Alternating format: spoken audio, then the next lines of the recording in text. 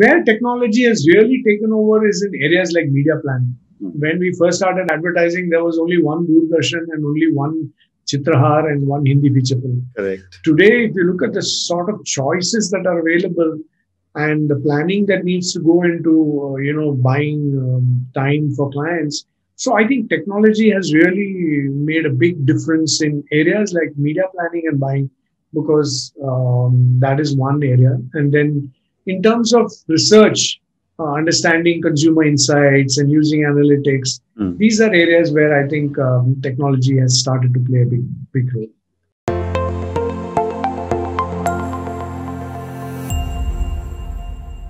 Welcome to another episode of The Brand Called You, a podcast and podcast show that brings you leadership lessons, knowledge, experience, and wisdom from hundreds of successful individuals from around the world.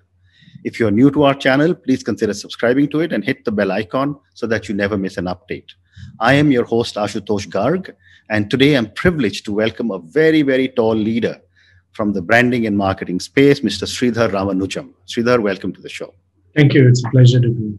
Uh, Sridhar is the founder of Brand Comm, which is now a part of Madison World. He has earlier worked with Pratibha Advertising, RK Swamy BBDO, and Mudra Communications and he is also the former president uh, of the Advertising Club of Bangalore. And I'm, as I'm always partial to authors, he's an author of three books. So, uh, Sridhar, let's talk about Brand Comm. Tell me a little bit about this venture. Yeah, sure. So, Brand Comm is a 22 year old company. Mm-hmm. Uh, we I've spent my entire life in advertising. So, we said at that time advertising was become, becoming commoditized. And mm-hmm let's do an advertising agency with a difference. Mm-hmm. So we did a few things different. We were the first sort of agency to start working on retail. And I'm talking of this late 90s. Mm-hmm. Uh, and then, um, you know, we were doing some nice work. Then we morphed into more of a branding company. There was a lot of interest in branding at that time. So mm-hmm. naming your brand uh, identity, positioning was something that we did a lot for the company. So we sort of morphed into a branding company. And then one of my clients whom I had served for many years walked into my office today and uh, one day and said, uh, I'm starting a new venture. Mm-hmm. Will you do PR for me?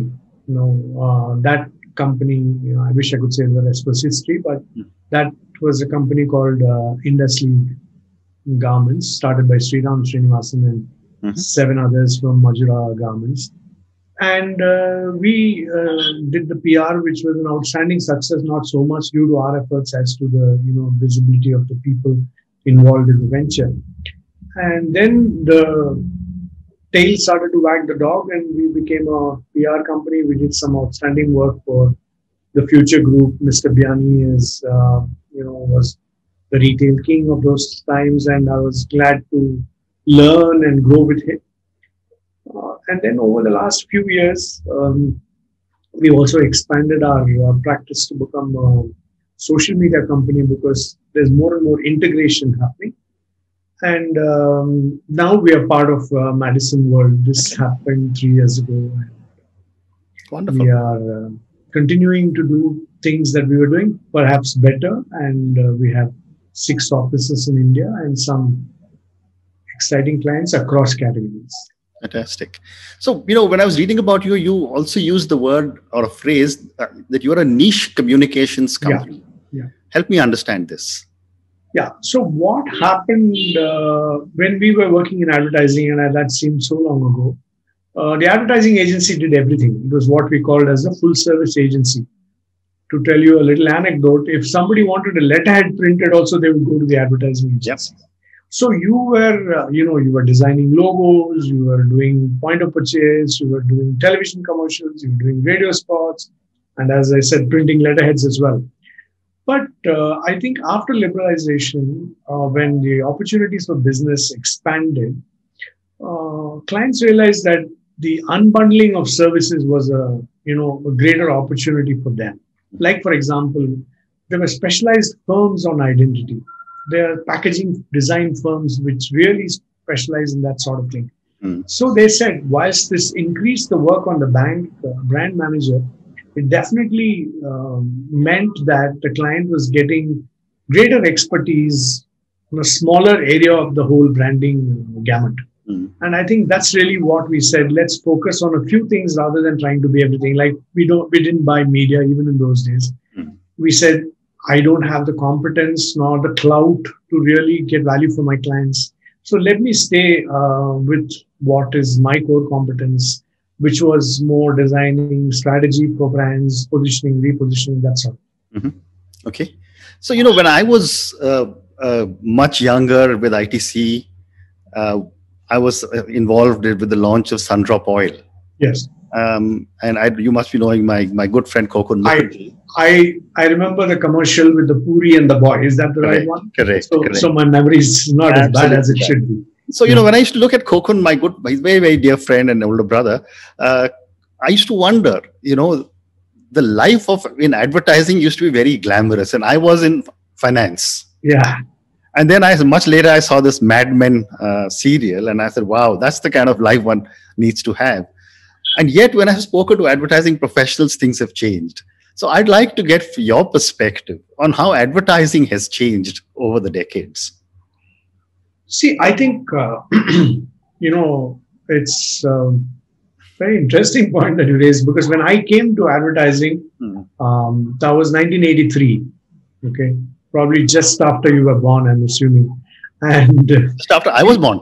No, no, I'm 64 years old. I know. Ah. Don't look it. okay. So uh, I did this. Um, you know, we came to advertising because we wanted to do great ads. I mean, unfortunately, within in with many people in advertising, there's a hidden desire to be a copywriter, hmm. and sometimes that ends up in you write books, but you don't write ads. Anyway, correct. So in those days, advertising was truly glamorous. If you remember, the this was the launch of television in a big way. Yeah. And you might remember ads like Liril, which yeah. you know people look, for, look yeah. forward to listening mm. and watching. Um, and I think this continued for nearly a decade. Some outstanding work happened. Alyque Padamsee was there. You know, very nice work was happened, and um, Mudra did some nice work for Vimal and Rasna and all this stuff. Mm. I think uh, liberalization, uh, whilst it increased opportunities for uh, people and advertising, I think in a large, to a large extent, was saw the death knell of that creative business that we all grew up in. Because almost every agency became part of a large international network and people would be discussing quarterly figures and this budget and that budget and you know i uh, i can't quote uh, because this your uh, you know podcast and uh, viewership is quite high but there was one of the greatest creative people of all time in, in india i don't want to name him and after this change one of his art directors went to him with an amazing photograph and uh, normally that guy would have said, wow, what a lovely picture. How are you going to use it, etc. Instead, he's asking, is the client going to pay for this? Okay. So you can see the entire shift. I know. In, uh, you know, priorities. No, and these were legends in their own, mm. uh, you know, lifetime. So I think that shift happened. Uh, you know, we started working with global brands and global agencies, and uh, we kept talking about the 20 to 22 percent uh, margins and things like that. And I think that made advertising no longer a fun sort of industry to, to be mm. in.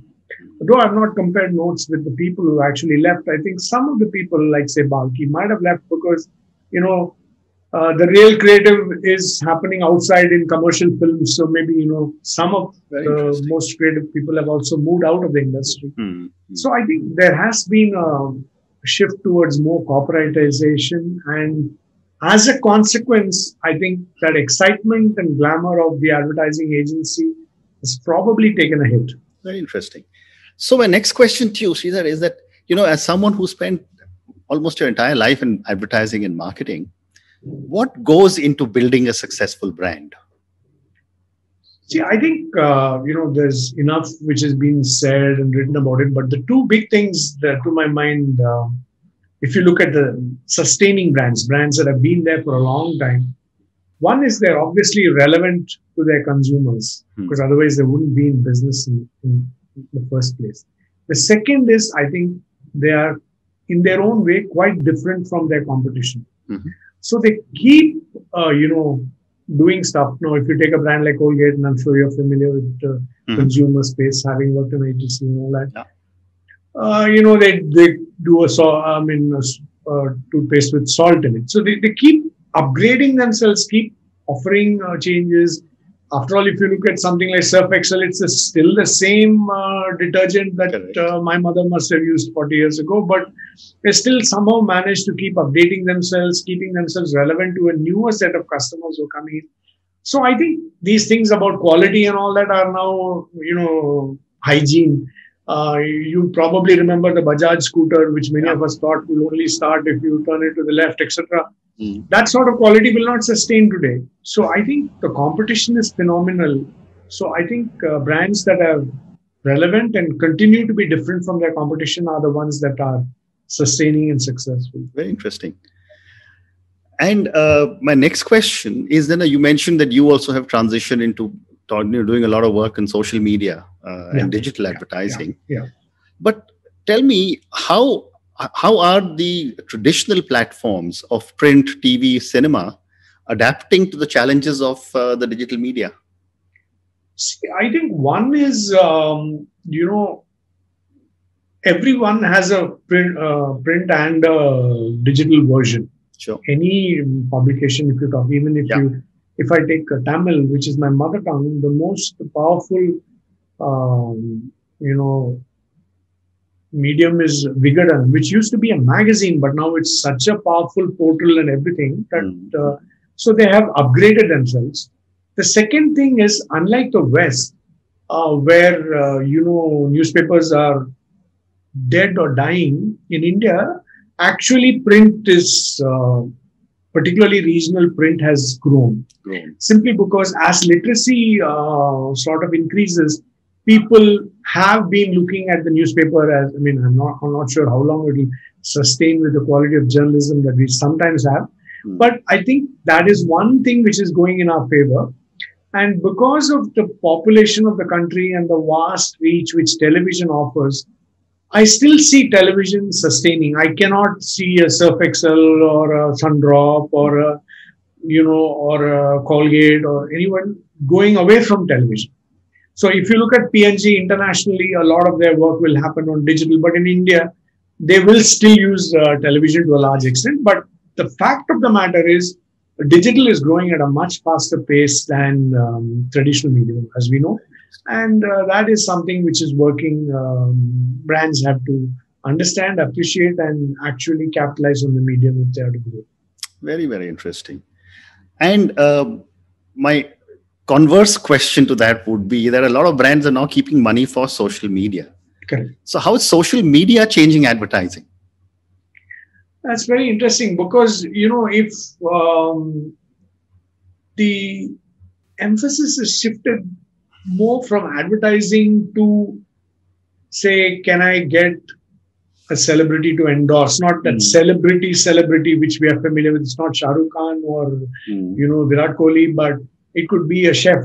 Yeah. And, you know, he subtly shows your oil uh, while he's making these exotic dishes. And in his YouTube channel has 2 million views. Yes. Uh, and uh, some of these uh, celebrity endorsers are unfortunately also taking commercial considerations. So I think the focus is sort of shifting from traditional advertising to new ways of engaging with the customer. Mm. And I think that's really what is uh, going to happen like for example, uh, one of the brands that uh, our group Madison worked for, they did work for Parachute, and mm-hmm. um, they did a phenomenal campaign on TikTok, which got so much uh, you know engagement uh, that you know traditional advertising just cannot compete with this sort of uh, engagement. So I think that's perhaps one significant shift, and of course you have this uh, traditional advertising people are creating more communication for YouTube, not necessarily, you know, you run a three minute commercial. I mean, if I were to run a three minute commercial on IPL, then I would probably go bankrupt, right? Correct. So I think those are the sort of changes which are uh, mm. happening, and uh, you will see more of that as we go. Fascinating. And you know, uh, technology has has impacted virtually the entire corporate, yeah. you know, world. How has technology impacted advertising? I think, uh, you know, we are still, I'd say, if you look at traditional advertising, a lot of it is, um, you know, brick and mortar in the sense that it's still the power of the idea. Mm. Uh, I might use technology if I'm doing animation and things like that. But where technology has really taken over is in areas like media planning. Mm. When we first started advertising, there was only one Doordarshan and only one Chitrahar and one Hindi feature film. Correct. Today, if you look at the sort of choices that are available and the planning that needs to go into, uh, you know, buying um, time for clients, so I think technology has really made a big difference in areas like media planning and buying because um, that is one area. And then in terms of research, uh, understanding consumer insights and using analytics, mm. these are areas where I think um, technology has started to play a big, big role. So I'm now going to move to the next segment of our conversation, which is your books. Yeah, sure. Uh, please tell me about your books. Yeah, sure. So basically, there are uh, uh, three books, two in English. Mm-hmm. Uh, I used to be a regular columnist for um, the business Hindu business line. Mm-hmm. I used to write for years uh, for them, and uh, they had a, and I was I had a column called the Third Umpire mm-hmm. because most of my columns have some reference to cricket simply because you know if you're reaching out to branding and advertising are generally niche sort of subjects so if you want to have a wider appeal, uh, perhaps it makes sense to introduce, uh, uh, you know, and when you speak about books, I uh, should give you an anecdote. Some big clients of mine who are MDs of companies, big companies, etc., would come for their launch because I would ask them, and their spouses because they're also friends who would accompany them. Mm. And uh, three days later, I'd get a call from the spouse saying, Sridhar, the book is really good. I'm sure the husband never had time to read it. But so I tried to keep uh, the um, things conversational. So um, a lot of the stuff which was there in my columns got featured in my books. Um, they were about branding, advertising, communication, um, and um, you know, media and public relations. So basically, it was sort of anybody who came into advertising uh, on those days, mm. it was felt it was good for them to read it. Mm. Uh, the book in Tamil was uh, interesting because uh, it was titled En Vazhi Than which is the Rajinikanth line. So again, um, you know, branding was becoming very popular in certain areas like Coimbatore and Tirupur because there's a lot of industry there. Mm. So uh, there's an interesting story about that book as well. Um, not I used to write for again this Vikatan. Uh, they had a business publication, and one big industrialist in Coimbatore is talking in the car to his son, saying, "I think we need to do some branding work." Mm-hmm. So this driver uh, so, so why are you going all around the country? You go to this person, he writes this regular column in this uh, magazine. I've read it, it's good. Mm-hmm. And when I went and asked him, who told you about this? Please don't get upset, but it was my driver who told me to, to use you. So I, I, I think uh, these were the three books that I've written, and I'm in the process of uh, uh, writing a book on advertising and branding, which is um, hopefully um, based on many of the experiences that I've had, which will help. Uh, uh, you know, budding brand managers and uh, marketers to avoid some of the mistakes that I think we did. Very nice. And what are your thoughts on uh, personal branding? This is a topic which has become very hot now.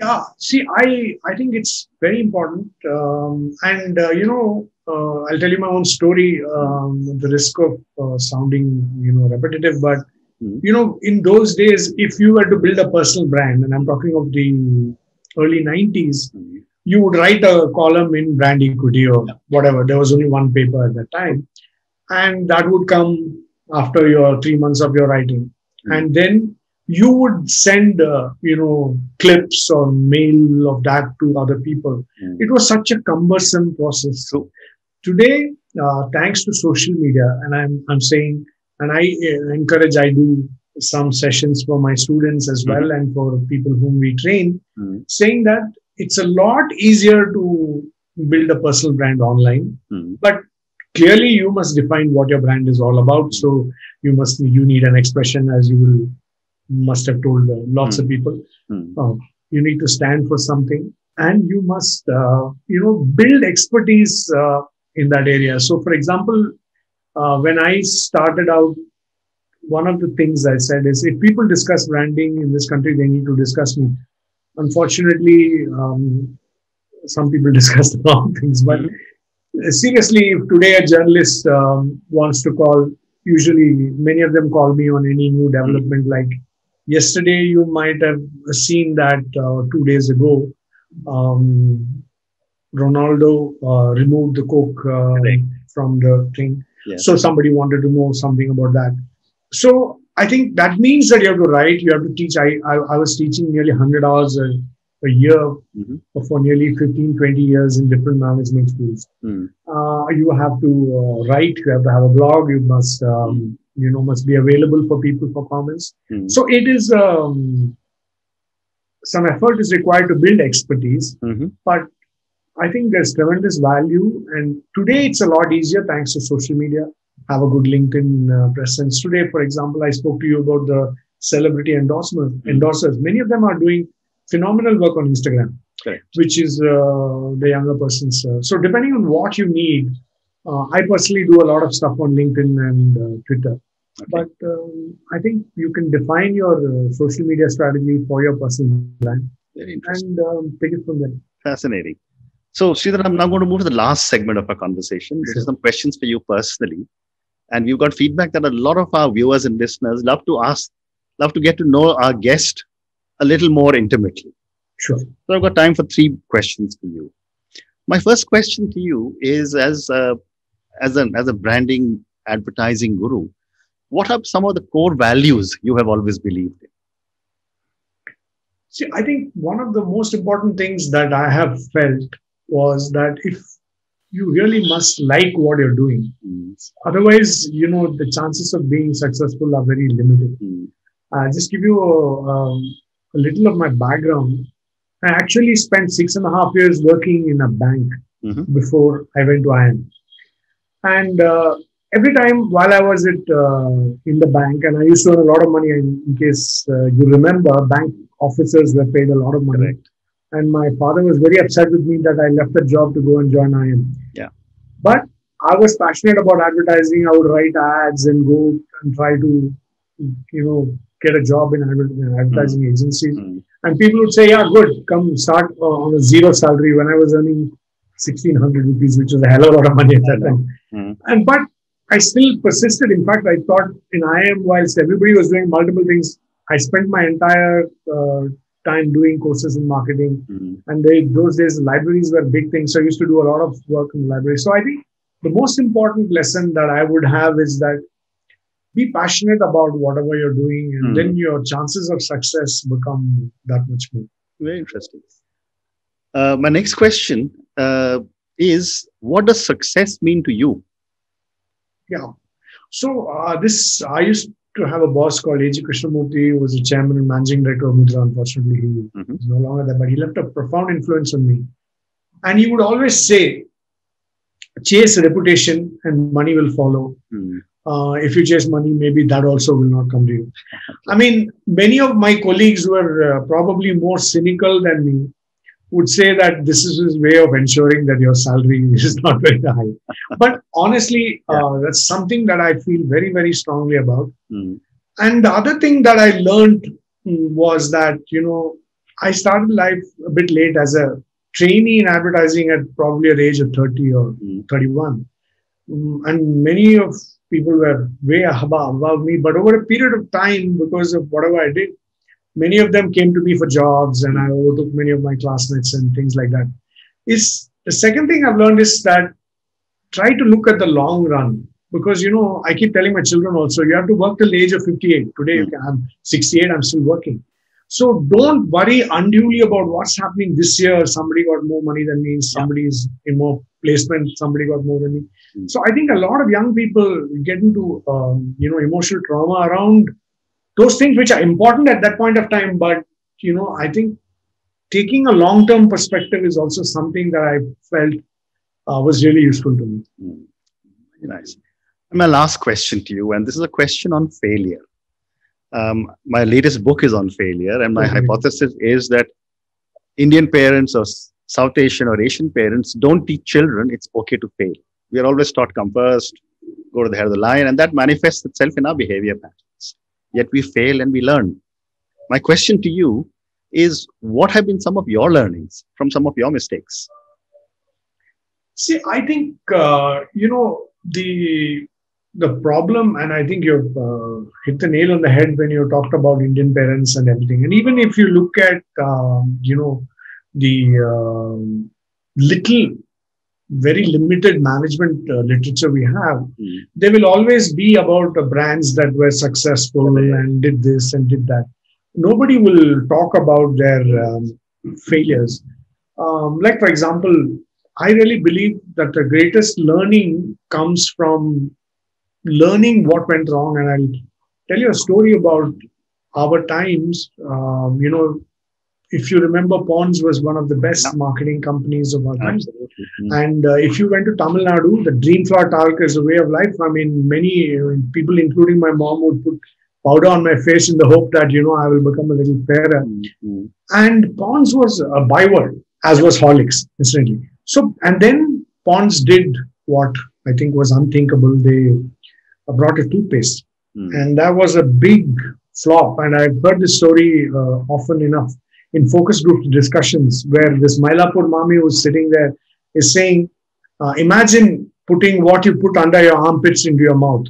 I mean, so I mean, this was for the one of the best companies of our time. I mean, was a leader in marketing. Mm. So all of us, I think, uh, make uh, mistakes uh, I remember doing a campaign for a large electronics company, which mm-hmm. later, you know, mm, and and the guy who did it was is arguably one of the most creative people in India, and we both goofed. Uh, and like for example, there there was a category we were doing work for whiskey, and those days we didn't know much about uh, mm-hmm. the whiskey drinker.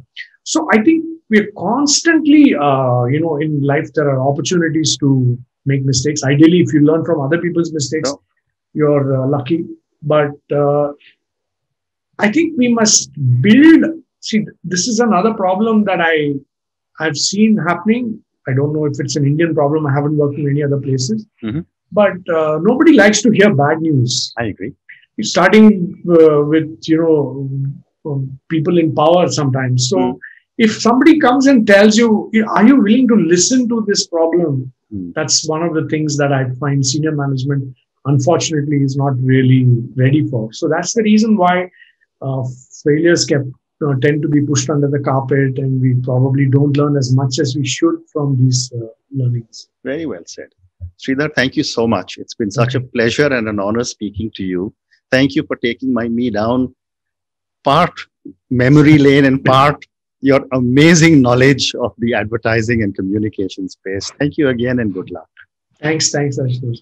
It was a pleasure talking to you. Uh, we'll be in touch. Yeah.